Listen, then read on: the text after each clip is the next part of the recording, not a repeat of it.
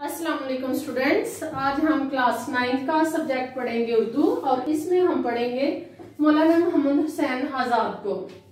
ये मौलाना मोहम्मद हुसैन आज़ाद पे हमारा लेक्चर नंबर वन है उर्दू की दरसी किताब नाइन्थ क्लास में।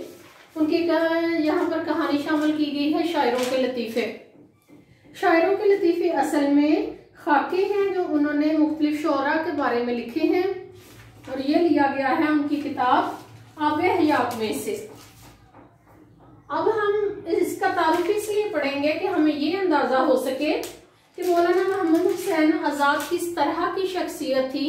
उन्होंने उर्दू अदब की किस, कितनी खिदमत की थी जिसकी वजह से उनका इस टॉपिक को, शायरों के लतीफे को उर्दू की नाइन्थ क्लास में शामिल किया गया। मौलाना मोहम्मद हुसैन आज़ाद पैदा होते हैं 1830 में। और उनकी डेथ होती है 1910 में।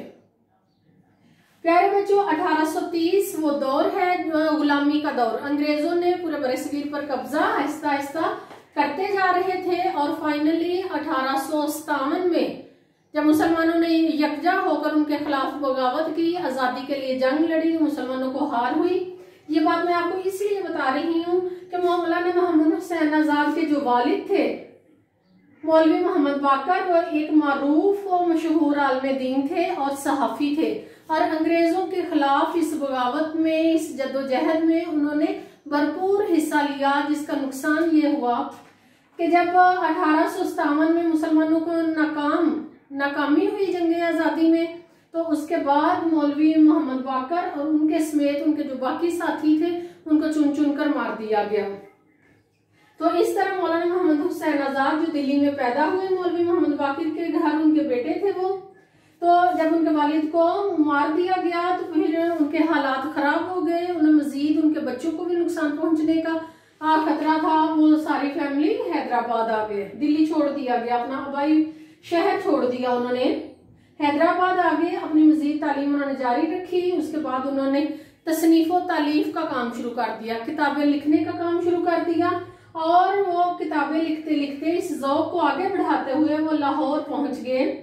लाहौर में उन्होंने महकमा तालीम में मुलाजमत इख्तियार कर दी। उस वक्त जब मुसलमानों का मुआशी इस्तेसाल किया जा रहा था, मुसलमानों को बाकायदा नौकरियाँ नहीं थी दी जा रही और खास तौर पर अदबी और अहम जो जॉब थी, उनकी बजाय सिर्फ़ ये पॉलिसी थी कि उन्हें क्लर्क की जॉब दी जाए, चपड़ासी या क्लर्क इससे ज़्यादा नहीं।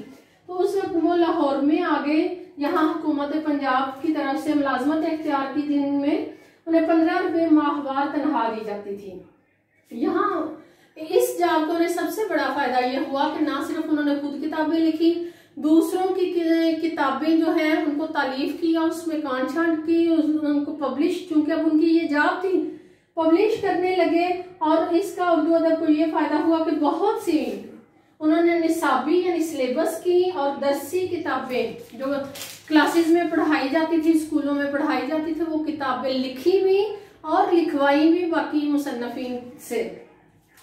लाहौर में कायम अंजमन पंजाब में वो लेक्चरर और सेक्रेटरी रहे।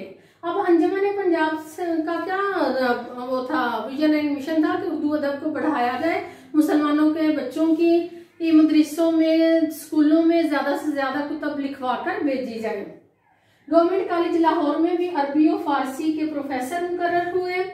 उन्होंने अपनी ये जो ज़िंदगी थी 1830 से 1900 1910 तक इसमें बहुत ज़्यादा अदब की खिदमत की। शायर भी थे। उनकी अहम खूबी ये थी कि वो एक अहम शायर थे और पूरे शरीर में जाने जाते थे। इसके अलावा वो मुसन्फ थे। किताबें नसर भी लिखते थे और शायरी भी करते थे। और जो उनकी सबसे बड़ी नसर और शायरी की जो खूबी है, वो ये है तमसील निगारी।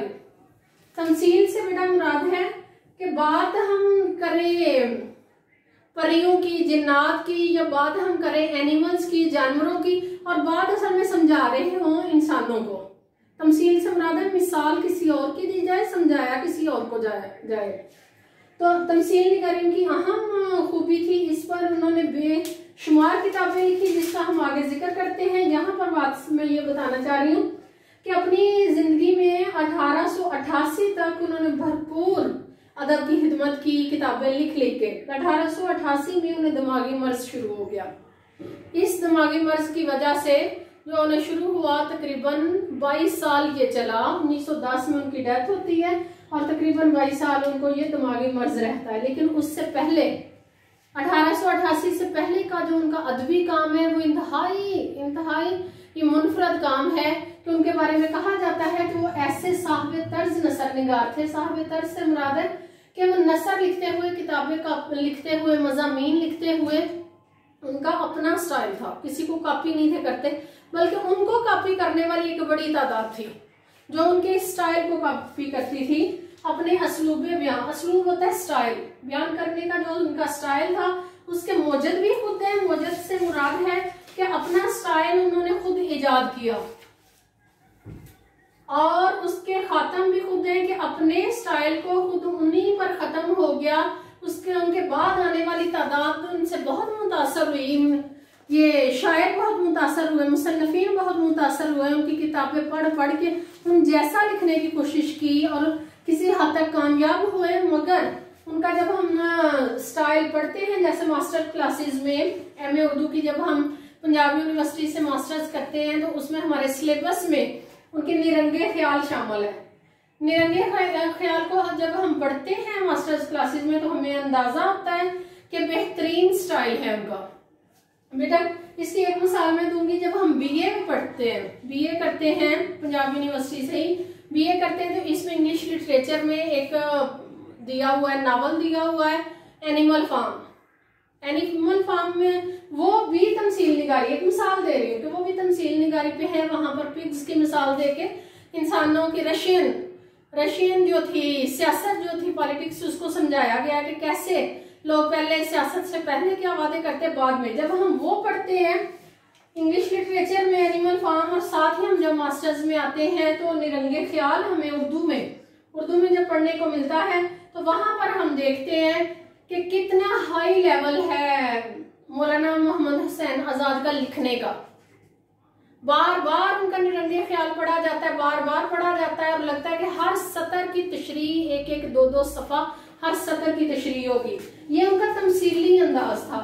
यानी उसमें किरदार किरदार कोई और जैसे बटरफ्लाई का किरदार या किसी और का किरदार बयान करके समझाया इंसानों को जाए। ये उनकी मुनफरद हैसियत है।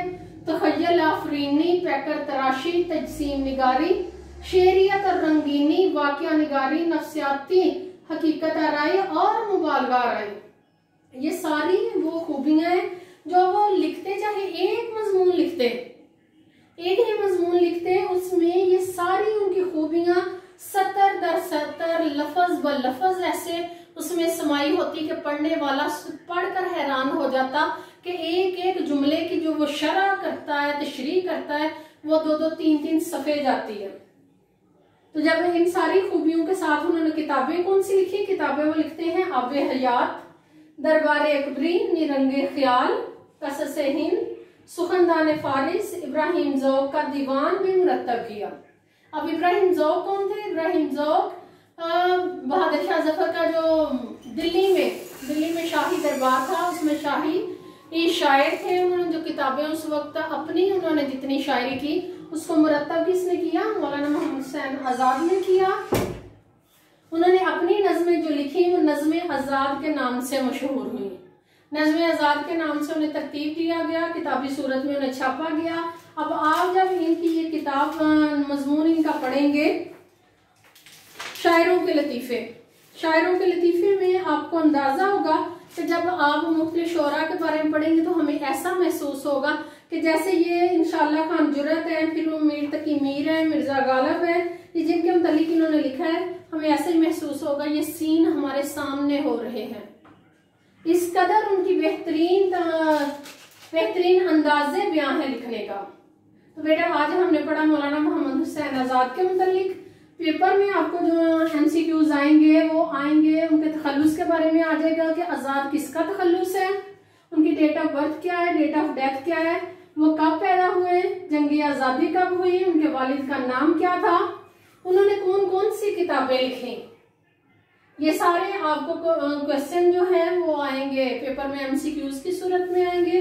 तो आपने इनको लाजमी पढ़े, किताब से लाजमी समझे, फिर जिस बात की समझ ना आए, वो मुझसे पूछे। बहुत शुक्रिया अस्सलाम वालेकुम